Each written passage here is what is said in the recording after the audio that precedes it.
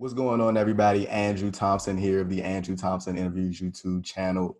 My guest today is the Amazon been in the wrestling business for over a decade. Her name is Ayesha Raymond. Ayesha, how you doing today, ma'am? Hello. I'm just really, it's really hot today. So I, I excuse the shininess. I tried my best. I say, I, I, I appreciate you uh, taking the time to do this with me today. You know, greatly appreciated as always. Uh, just for uh, just to kick it off, just tell tell the people who watching like uh, how did you get started in the pro wrestling business? I know that you were either trained by Robbie Brookside or uh, Saraya Knight, right? Uh, yeah, I, I mean, I started off in the wrestling business. It was basically a, a girl who wanted to accomplish her dream. Um, I started training very young. I left college. Never do that. I did go back in the end. I started in Nor in London with um, Justin Richards, FWA wrestling star. He was my first ever trainer, and he basically installed in me that you, as, in order to be good in this business, you have to have as, as many teachers and as many like tutors as possible. Everybody learns differently from different places. So from there, I went to Norwich, and then from Norwich, I went to Leicester with Robbie Brookside. And it, it, like just, just looking at your career and like what you've done so far, it, it seems like you carved out like a nice piece of like wrestling for yourself. Uh, just just tell me like what was it like for you growing up as a black woman in London, uh, the experiences that you had, and also you know getting into the wrestling business. Um, it was interesting because there, as as you know, there aren't that many of us. Right, right. when it comes to wrestling, um, it, it's it's a cultural thing. It's a um, it's a parent thing. And my parents are Caribbean, and you know, no one wants to be a wrestler. You know, my mum always pushed us to kind of um, accomplish our dreams. But when it comes to black people, in terms of um, careers and jobs and opportunities, you always aspire for your child to be a doctor, or a nurse, or a lawyer. I went to my mom and said I wanted to slam people for a living. um, I always wanted to be an entertainer. She pushed me to do like drama schools and performing arts, and I was always into art and music. But when I told her that I wanted to be a wrestler, uh, she said the same thing that I found out that there's not going to be many people like you, and and they weren't. Like I was I was the first of what then became many. And as as much as you know, you can look back in history and see it that there there weren't that many of us. It was myself and, and Nanya at the time, who is now Amarah, a voodoo queen, and uh, I carved the way now as Amazon, and it's opened so many doors for so many other shiny new faces. And just, looking back at your journey so far, like just in the wrestling business, like in, in kind of like a like a hindsight 2020 thing, retro, retrospect kind of thing. Was is there anything about your journey that you would change, or you would just leave everything exactly the way it is?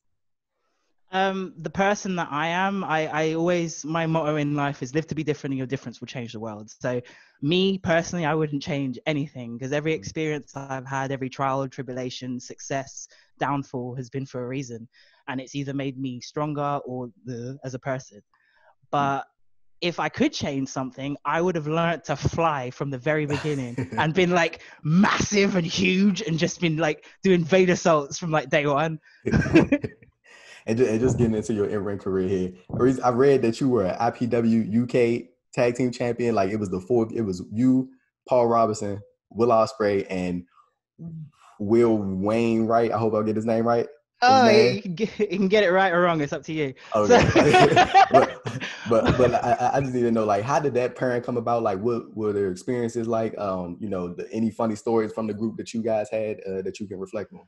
The entire journey was a funny story. Uh, mm-hmm. I got roped into a situation that I generally didn't I didn't expect to be a part of. And when I came into IPW, I just came into the women's division. And I don't know if it was the, the mix of all, all of us being the Essex and the London and was splicing everything together. But I became uh, uh, what do you call it? An involuntary member of the Swords of Essex. and uh, um, the, which was met with very much controversy by people outside the Swords of Essex. But um, it was interesting because th- that all came about because of backstage nonsense. Mm. And um, one day, Scott just wasn't at the show, and I was. So for one night only, Will Ospreay and I were tag team champions. The belts just got passed. We basically did the free belts rule with the belt. Right. And uh, we were one night only tag team champions and defended that belt um, in place of Scott and Paul Robinson, respectively, at the time. And you know, it, it was cool to kind of go, "Yay! Here's Ayesha two belts, but not really.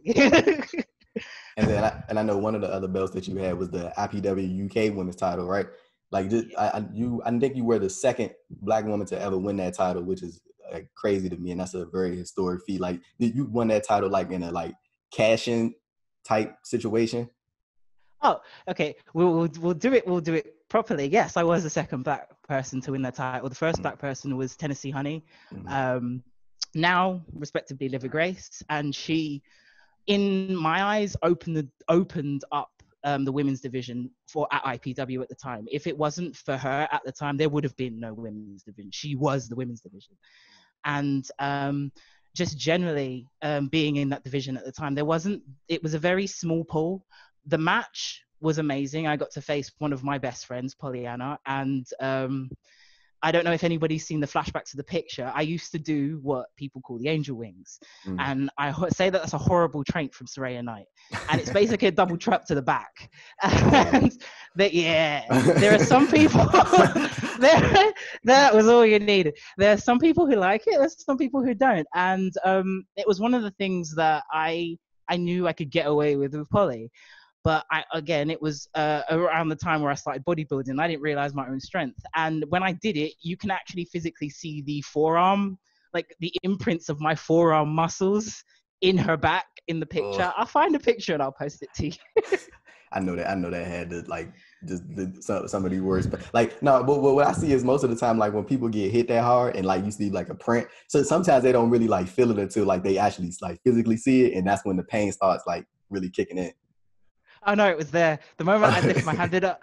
It was like I skinned myself. It was like brownie red, just all down her back. It was beautiful. Uh, oh yeah, but look, you you've been all over the place. Like I know you've been in Germany, like as you mentioned, I mentioned uh, while we were off air, you've been in Scotland. We know you've been in Japan. Oh, just talk to me about your experience in Japan. Like, what was that like? A, a bit of a culture shock, just being like in a completely different environment. Like I've always wanted to go to Japan, I, I feel like when I get there, one day hope like it, will probably be like that that culture shock just being in such a different environment. Was it the same for you when you first uh, got your start there? Yes i mean I, I say it now and i say it before i say it again. Everyone should go to japan. Mm. i've already convinced about seven people in the past six months to now go. Uh, i feel bad because of covid a couple of people had to cancel their flights and stuff but mm. you know. Um, but and especially black people. Every black person go to japan. They love us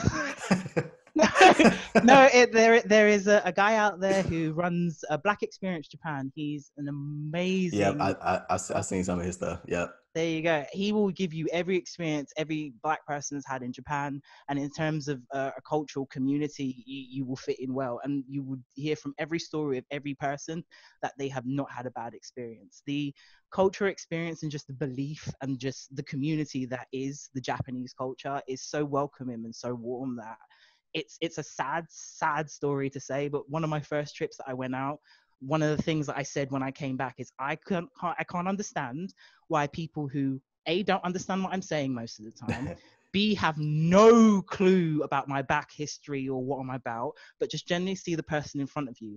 They are able to treat me better than the people that i've grown up for years. Wow. and to this day i still don't get it. I can spend six months to a year in Japan and have people that I consider best friends, and they will be my best friends for life. And I will come back home and not see them. And there are people here that I've grown up with for 10, 8, 9 years and who have seen me day in and day out and know my name, right. but I would not consider them as being my friend. That, now, that, that's actually like real interesting, like the fact that, like, you know, you go there and like, you know, I, I feel like anybody would have like going into just a different, like such a different environment. Like you always have those, you know, those inner thoughts, like, you know, just like, what like what is going to be like how are they going to react to me as a black person like and then you get there and it's like like a complete left from what you thought it was going to be and then like everything just flows from there so it, it, it, it seems like you just had like a great time in japan overall and everything just went smooth and it sounds like you wouldn't have a problem going back Oh, no, I, I, I say it all the time, and Natsuki says it to me. Amazon, you're a Japanese. I'm like, yep, yes, I am. But it's like even they're fascinated with the Caribbean culture, and I'm Jamaican as well. So to go there and just right. see like Bhangra, ba- sorry, to see Bhangra dancing, sorry, to see reggae like mu- dancing, to see music, to see the Caribbean culture, the food, and it's just like, yay, I'm home. I'm home, and I'm surrounded by anime and manga. and then, and then you wrestled for I think Ice Ribbon. You wrestled in Zero One. You wrestled in Stardom. Uh, I, I, know Ice Ribbon. They did some empty arena stuff. I, I think uh, not not too long ago, like real recently, yeah. they did some empty arena stuff. What, what do you think about that uh, at the empty arena shows? Like, are you into that stuff? Do you think you could you you could like oh, thrive yeah. in that environment? Oh yeah, I mean, I to be honest, it's not. It, it's weird to say that some people. I get the the aspect of not having an audience because mm. as wrestlers we're trained to react to an audience. But realistically when you're training as a trainee as a wrestler there's not that many people there apart from what 10 people? Right. so a, a no audience kind of setting isn't that that isn't that much of a difference. You're still supposed to be living and reacting to the moment. You're still supposed to be an entertainer. To me i can't wait to do one of those matches. Like it, it's just basically a cinematic athletic exhibition. And we you've been trained to do that since day one. So i don't understand why it's alien to some people. I really don't I, it, to me it's a concept that i don't get. I, I don't get why people are going oh i don't like it. And i'm like but if, if you were training you're doing that from the, the beginning. What's wrong with it as before the pandemic like did, did you have any like matches or bookings that you were looking forward to um, in, in, Japan? And did you or did you also? I know WrestleMania week was coming up in Tampa. Did, were you planning on heading down to uh, to Tampa for for you know for the festivities down there? Like I know I know some people who like weren't even like going to be wrestling down there. Some wrestlers weren't even wrestling. They were just going like this, you know, see friends and like just be in the you know all that atmosphere, like just get a good energy down there. Were you planning on heading down there as well? Yeah, I mean, I've got family there. I've got family right, and right. I've got friends in Tampa, and I I was gonna detour and then Japan and then come back to the UK, you know, when I feel like it. Um, mm. But um, yeah, I had all those plans, and all those plans have now been crushed by COVID. So right, and I, I know this thing just like put like a damper just like on. Everybody in wrestling and, everybody around the world, of course, but specifically in wrestling, I know this like hurt a lot of people. Like as far as like what's like what is what's next and it's like no really like really no timetable about when the independent scene is going to bounce back or when you know promotions are going to start running you know outside of I think Impact, um, AEW, and, and WWE. I, I, think some promotion, like I saw one promotion in Canada. I think they're doing like some empty arena stuff, but like it's like, you know, it, it's like things change. Like they announce it and then like they get shut down. So it's like you never really know like what's yeah. going to happen. But like as an independent wrestler yourself, has this like whole situation like kind of made you like change the well, not really change your mindset, but like it made you think, you know, maybe signing an exclusive deal like isn't like the worst thing, or have you just been of the mindset of like, you know, I'm gonna just wait till this thing over and then you know keep trucking on like I was before. Um, it's it's made me think more about. Uh, it's weird. As as a wrestler, you should all you should be multifaceted anyway. Mm. It's made me think more about the other things that I can do apart from being physically in a ring. Right. So there's there's more ways to be a wrestler than actually physically being in the ring. So it's had me had it's had to change my mind state like that. But in terms of it affecting me as an independent wrestler, right now, no, because everybody's suffering at the same time, so it's okay. If it was just kind of, if selfishly, if it was like split down the middle and then half of us were suffering and half of us were still able to do stuff, then fine. But right now, everybody's got restrictions, so until the law is completely lifted, we can all kind of just chill for a while and, getting into your realm of stardom, I know you were an artist of stardom champion. You held the belts with Jazzy Gabert, who's also known as Alpha Female, and uh, Kyoko Kyoko Kimura, who's the mother of the you know the late Hana Kimura. Uh, any uh, fond memories or special memories that you want to share with Kyoko, or memories that you uh, were able to uh, see uh, have with Hana through Kyoko? Um, I when I went out to Stardom and I met Kimura-san, uh, Hana was very young, so I I only had very few interactions with her, and again, my condolences to the family and friends. Um, but my experience of Kimura definitely she taught me how to be more violent in the most safest way. But uh, she opened up uh, doors to me in terms of the Japanese entertainment and how they present things and how they are able to make things um, exciting, safe, and um, kind of chaotic at the same time. Mm-hmm. Which is why when I came back, most people were afraid. Yeah, saying obviously, like we, we've seen like so many people like just share like the, the like just the outpour like massive amounts of love to you know the the fam the Kimura family. Like it's just like it, it, it's it's really like just sad that somebody had to lose you know what I'm saying? Like a like you had to lose somebody like that, and you know somebody lost a mother, a close. Every obviously a lot of people lost a close friend people lost an associate. You know, it, it's like it, it's just terrible, like the way things like uh, like really turned out. Then from a professional aspect, it's like always going to be that you know that cloud over like you know what could have she become like what where she where would she have been in five years from now like how big of a star could she have become over the next couple of years and lie on that question it, it, won't get answered. And it's like like just the way that people like like I like just in terms of like just getting into social media like I feel like everybody kind of gets like negative comments on, from time to time. Like just, just from your own perspective like how do you how do you deal with negative comments? Or do you just kind of like just brush it to the wayside and like you, you don't really pay attention to any of that stuff? Um it's really weird. Like I I've now learned to kind of put myself into a different mind state and go, it's not me reading that now, it's Amazon and whatever they can say to Amazon, Amazon's ah, literally gonna okay. go to okay. you. But there were times where I would open, like people would, I'd get some nasty things, hmm. and I have shown Natsuki, my senpai, in Japan, some of the things that I used to get, even when I kept was in Japan. When I came back from the classic, that was the worst. I I got some of the most horrible meshes I could breathe. Um, right. But what makes me sick the most is right now, and especially in a time like this, where this is all we have. Um, this is supposed to be our tool. This is news. This is entertainment. This is connection. This is community for some people. And something that's supposed to be used as something useful was used to make somebody feel like less than human something was used that was supposed to be used as a tool was used as a weapon and it should have never have been like that and it should never be like that. Like the one thing that i never understand about trolls and social media and people with opinions is yes everybody is allowed to have an opinion but everybody is also human. Like the same thing that may hurt your feelings can still hurt mine. Mm. i can be as just as nasty as you are to me but again why we're all human. There everybody no one has the right to like everybody else but you still have to realize that we're not all stone. Right. And just uh you know converting the conversation a bit the first time i actually saw you wrestle first time I remember this was the World of Sport shows back in 2018. The taping, the World of Sport taping back in 2018 oh, when they had. Oh, no. oh yeah, we we, we, we, get into that. Cause like, cause like after the first season, it just seemed like that show just like went off the face of the earth. And I remember they said they were going to play some live event stuff, and then I think they did like two shows, and then like the show just like disappeared. And then I know NXT UK happened. Like, did, did you ever like did you ever hear anything like about like a second season or a second set of tapings?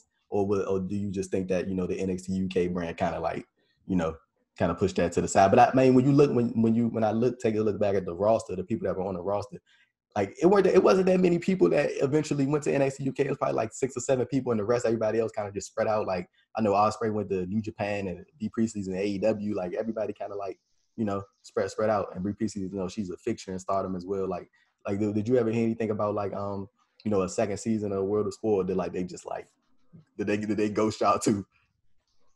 May I was in Japan. Oh. Um, when I we did payments, uh, uh, I, and I, I went I went to Japan. Um, I most of the social media stuff I was doing, I was doing from my apartment in Japan. Uh, when I came back, I got told off. I got told about the tour that was oh, supposed oh, okay, okay. Um, some things led to another, and there was no Amazon on tour. Um, but as far as I'm concerned, like it, it, it, was something that happened. I'm grateful for the opportunity, but uh, I don't know. It's COVID. I'll say it. They should have not let the inmates run the asylum, and it would have been fine. okay. Okay. Yeah. I, I, I, that's all I'm saying. You, you, you kind you kind of summed it up summed it up pretty nice, and like I, think that's, that's all. You, I, think that's all you really need to say, just to put it in perspective. But, I can't um, get in trouble for that. but like like when you look at some of the time, like I mentioned before, like I think um, you got Dave Mastiff, uh, Kay Lee Ray, uh, Viper, all of them. They went to NXT UK and uh, they all signed exclusive deals with them. Did, did NXT UK ever try to like bring you in? Because I know you have you have done some work with WWE in the past with the Mae Young class, but had like they for as far as the NXT UK brand, have they ever reached out to you and tried to bring you in for some stuff? I was abroad at the time when there was a mass uh, okay. women's um, tryout that happened, and I was abroad at the time, and, and that's what I was co- focusing on.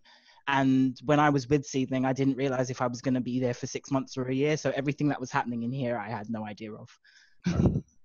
Like when you when you like uh you know when you look at the I'm, I'm wait I remember they had the the the, the all all female trials over in the UK last June this late last June they had the all female uh, UK trials. And like it, it seemed like mostly everybody that was at the trial like they didn't really go to WWE like I think some of them they might have did some extra work but like most of them like they went elsewhere and signed like other places. And I, I remember um I interviewed uh, Session Moth Martina back in February, and you know, she told me why she didn't sign with NXT UK, and now she's in Ring of Honor it feels like she has like the freedom that she has like if she like and she wouldn't have that if she went and signed with NXT UK. Like that, that just shows me like when you like when you look at the list of people that were on that trial list and legit none of them are with NXT UK. None of them signed like and it's so like that just shows me that like and not not necessarily not the bash NXT UK, but it just seems like there's like so much other wrestling out there and so many other opportunities. Like you don't need to be a part of the WWE umbrella in order to be successful in pro wrestling anymore. Like things have just changed. Like you don't need to be under the AEW umbrella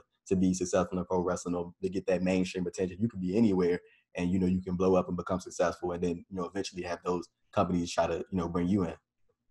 I mean, um, like I said, when all of this happened, I was abroad, and so I had no idea of what was going on when I was okay. gone. Okay. Um, but like, I, I I know some people make different choices in terms of freedom, um, some people make different choices in terms of what they want. I just assume that it's what they wanted. I mean, I know the mass amount of girls that were tried out, and they probably will be seen again. And right. because of what happened, because of what happened this year, you have no idea what the plans for NXT UK was at the beginning.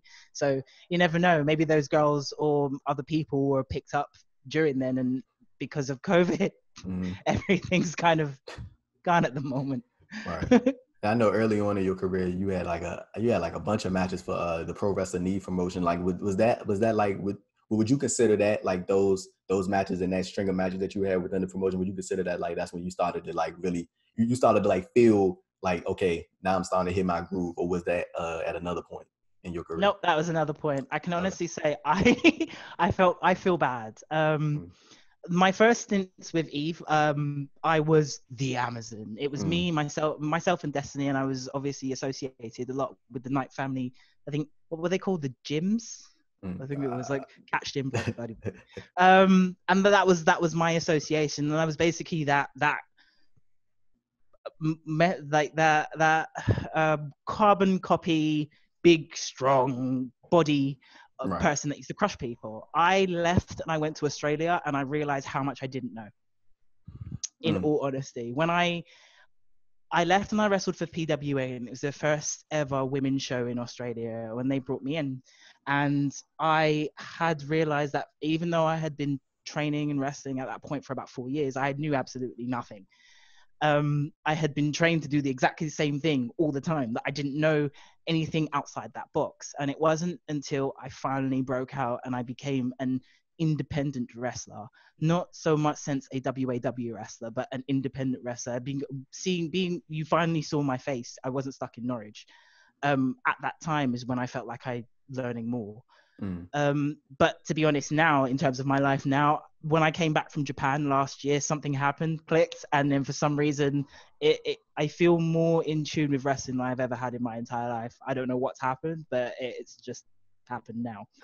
I say it, it, it seems like you you like prior to the whole pandemic thing, like you really were in a groove, and like I, I feel like that's when you know, like this in life in general, like not even just in professional wrestling, like when you start to hit that groove and everything starts clicking, like everything just like, you know, full speed ahead and like nothing nothing can get in your way. Uh, like just, just speaking about like your your matches, like how you piece together your matches, you do have the, the size advantage over your opponent. So like, is it like like do, do you try to like like I'm I'm real interested in like the psychology and stuff like that. I love hearing about like I could listen to people talk about that for days. Like I'm like real fascinated with that stuff. Like so when you and, and the thing is you move very swiftly around the ring. Like you can do everything. Now you do you you do you can do everything that anybody else can do, and I've seen it. So it's like like when, when you uh, piece together your matches, like do you typically go the route of like you know have a smaller person you know try to come back from underneath, or like is it like you just try to go out there and just show that you can you know do whatever would do what anybody else can do, and then like you know just, just kind of let the match flow, or is it like you know the typical you know uh, big small type thing? It depends. When I first started out, it was usually the big, tall, small type thing. It was, look at me, I'm six foot plus, and mm. everybody else is like four foot nothing. Right. Realistically, what can you do to fight me? But after a while, that's I'm not indestructible. That gets boring. Um, what I found more difficult nowadays is everybody wants to be a flipping superstar. The problem is, is that you can't do. I'm bigger than you. Every everybody wants to be a flipping superstar, and everybody is just put. I know we live in the world of entertainment. Everybody just put the whole psychology bit out of their size. Uh, Say like a, a a girl who's basically a quarter of my size, German suplexing me all over the uh, flipping ring, so people can go, yeah, hmm. one more. I'm like, no, you, you've just ruined everything. But it, depending on the setting of the match is how I run it now. And I have now realized weaknesses. I have to have weaknesses, but most of my weaknesses are all my screw ups. Right. I, I very rarely now let somebody completely chop me down because one of the most cri- biggest criticisms in my career is that, and I, I don't understand it um, I'll be this big imposing force, and everybody's oh she's too big, she's too stiff, she's too entertaining, she's too intimidating. And then when I try and play your little game, is she's supposed to be bigger than everybody else. Why is she letting that person chop her down? So it's uh, just like. I, I, I, know I know that got to be like one of the most annoying things because it's like you can't make you can't make everybody happy, but it's like at the same time it's like okay, I'm gonna play your game, and then when when you play it, it's like, well, how you gonna criticize me for doing exactly what you said, and then once I do my own thing, and it's still an issue. Like I, yeah. I, I, I, know that had to be like some of like one of the most annoying things that you had to deal with, like deal with throughout your career. Like, do you still kind of, you know, uh, deal with that, or like as you like as you mentioned before, like before the whole pandemic, like when you were like really going full force, like with, with everything, just like you know everything was just going smooth for you. Yes, and and to be honest, it's with it's not so much in I feel I feel bad when I say it. It's not so much in Japan because in Japan they want their monsters to be monsters. They want their intimidating forces to be intimidating forces. Mm. The please don't not book me when I say this. The UK scene has come become so obsessed with the thousand shotgun move um, repertoire sequence that somebody like, like every, giving five thousand. Like, yeah. yeah. And I'm like, everyone, someone giving me 5,000 Germans in one match is awesome and cool to see. But now what am I going to do for the rest of the match? Huh? Right. and then when it's boring, you're going to have a go at me. But that's what you wanted. And if I didn't do that, oh, guess what? It's not a five star classic. All right. All right. But, but I, I, again, so, I don't understand the. so, so, so for me, just as a fan, like, like so I, sometimes I, I can uh, it all just depends on how I feel. Like sometimes I get into it like you know the the super fast matches and everybody kicking out of everybody's finish and like where people like where people take these hard moves and then they pop right back up and then they give them one and both fall out. Like so, so sometimes it's cool, but like like it, especially in this empty arena setting, like it, it like, you need like, action. It, like it, it can't like like I mean I mean well for for me personally like when I see the empty arena stuff and I see people doing that, like, and they like they get hit with a real hard move and then like they bounce right back up, like, and it's like nobody reacted. I'm like, end up like like when it's a crowd around and it's like a bunch of people and you hear them going crazy for it. I'm like, okay, there we go. That like that's see? it. But like. but that's the crowd reacting. That's the yeah. that's the community yeah. environment. Imagine right. a match with five thousand Amazons. You really want to see us choke bomb each other for five minutes? Is that is that entertaining? Yeah. but but like when you uh oh yeah just, just uh I wanted to ask you so like in Japan like I, I know with New Japan Pro Wrestling like things are really like like kayfabe like everything's kind of like you know you you you can't be seen with the you know with the person that you you know wrestling against on on on, on, on TV and stuff like that. Is the same thing in, in, in the women's wrestling promotions as well? Like are things like really like you know locked down as far as like you know character work and you know the the protecting the business and stuff like that they're still old school in terms of fan interaction. That oh, that's still oh, very okay, okay, okay. Um, like I I have been caught in situations before where some of my best friends, you know, we're in the middle of Harajuku, you know, having some fun, or you know, we're in Shinjuku and I'm, I'm having some fun, and then somebody walks by and I've been pushed into a corner, like, and you're like, Nande, why? It's like, ah, fan. I'm like, like, like you, you could be a fan. Don't touch me, you know yeah, or I was walking in Kawasaki once. Uh, we were going to a festival, and some of a few fans shouted from the train station, "Amazon, Amazon!" And Natsuki literally physically pushed me like behind two pillars, so I wasn't seen because I'm not oh, supposed okay. to be your. Okay. They, they so they're very still very strong in terms of kayfabe in terms right. of fans, but like in terms of wrestlers and locker rooms, I just think it's different promotions. My um, Right. promotions that I've worked in, it's it's just as normal as a 2020 promotion locker room is all the time. Does that make it exciting for you though? Like when you go out and like you gotta, you know, so so sort of, you know, sort of, uh, you know, play it up a bit that you know you're not supposed to be seen with this, but like I I I know like there's like a piece of that that's like kind kind of exciting and it's like kind of fun to like know that people like you know they they they're still in the mindset of you know that this is you know this, this is real and they, and they and they take it they know this is legit and they you know they take it very seriously and like I, I think that's like a really really cool aspect of it like is that one of the things that like you know it's kind of exciting for you when you go to Japan it's like you know that the, that the people they still take it as seriously and you take it seriously as well but they still take it as seriously as fans do and not everybody is like that mindset of you know I got to know the inner workings of every single thing Oh yeah, mate, no ego. I say every time I get to the airport, I want to go back to Japan where people think I'm important.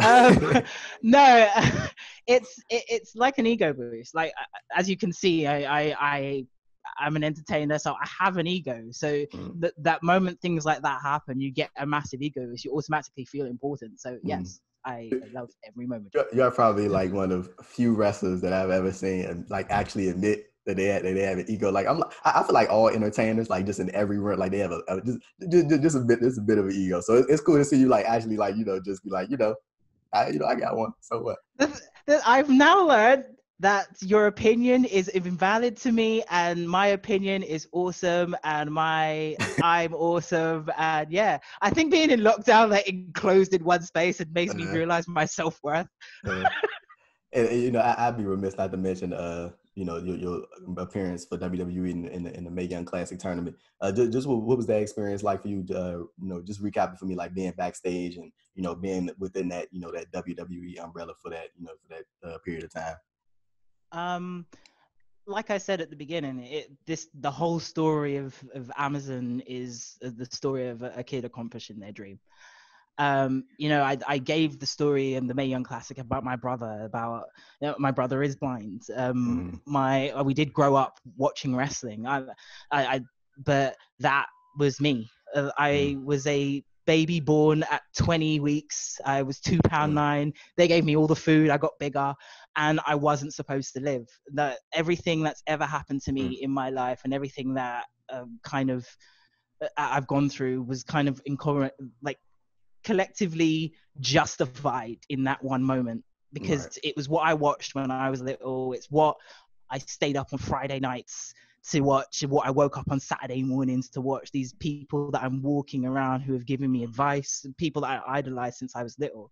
So the entire experience alone um, was breathtaking. I, I got to basically stand in an arena that I had been making on SmackDown versus Raw for God knows how Mm. long, and the character that I had been making was it was in the ring for real.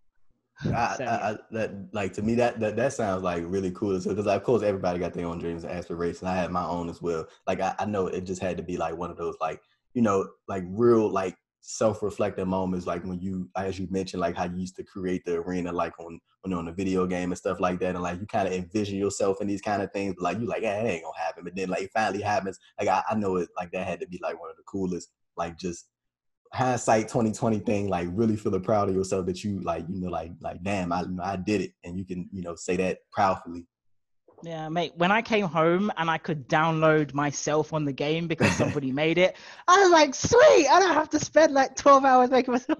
No, but Right. yeah, it, it was. I, I.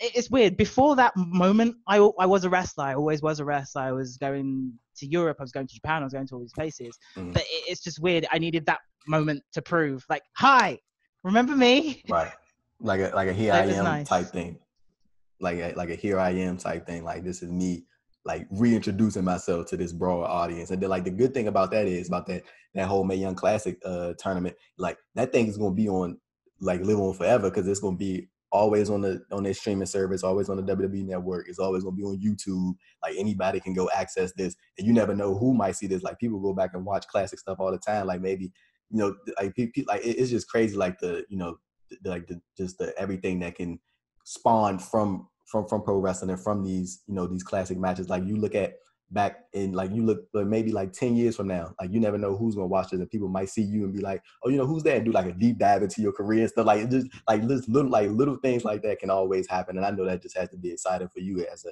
as a wrestler and as a as an and as an individual yeah, it, it, it be uh, usually it's the questions like Ayesha, why do you look like a Klingon? No, it mm. was Sherry's makeup, and I oh, like oh, 80s oh, hair yeah. metal. Uh, but yeah, yeah. So yeah, it will be there forever. So, so just just uh just uh, jump off the topic of professional wrestling for a bit. Like, what what have you been up to during this whole quarantine, uh, COVID nineteen pandemic? Like, how have you been uh, passing the time? Um, I've embraced my Jamaican heritage and I've had dreadlocks okay. put in. um, I've been working out a lot. I it's what I do. I was into figurative and competitive bodybuilding, so I I know how to keep myself in shape. Like mm. uh, mm-hmm. every I've seen workout videos online all the time, other people do it, and I'm like ah. Um, in terms of uh, technical stuff, um, in college, in school, I was uh, okay. so I can build computers and stuff. That's cool. Program stuff. Thank you.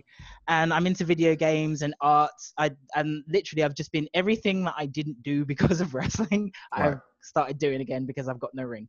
I say so you been so you like really into like building a computer now that see that to me that's cool as hell. I like that. So like you like in the like really into like like like building computers like from the ground up type thing, or like you mean like fixing them up and stuff like that? I used to when when I first found out that you could basically take apart a CPU and mm. install uh, new hard drives and new memory cards and new sound disks. It's what I did to my first computer. Drove my mum nuts because mm-hmm. my computer had no back and it was just wires but I, I was basically able to build like a really fast computer out of a Windows 19 Packard Bell and playing like GTA and stuff. But yeah, I, I just like to dismantle it and just put it back together and hope that it works. no, see, that's that. I, I me personally, I, I love like the real, I'm real like technically sound for. I love the technology stuff. Like, so like that's cool that you know how to like you know, build stuff from the ground up. And you know, now you don't never have to take it to anybody. Like you just do it yourself. I'm pretty sure that's the that's a, another upside to it as well. Uh, oh, also, no. You, I, I, was gonna say no, I don't. I feel I'm the worst person. When you go and buy technology with me, I complain about insurance because it's a con. Uh, I will do it for you. Do not pay them fifty quid a month. Right, right. And I know you mentioned um, you play some video games. So what, what games are, are you into? Uh, I like randomly shooting people on Red Dead at the moment. It has yeah. been my like I like going into town, finding the town with the most amount of people online, and just throwing dynamite and right. seeing what happens. But I made the horrible mistake. I'm online now, so everyone can hear this. On my online PlayStation name, it actually says Ayesha Raymond. Mm. It's got no PlayStation name, so if you randomly see someone throwing dynamite at you and it says Ayesha Raymond, it is me.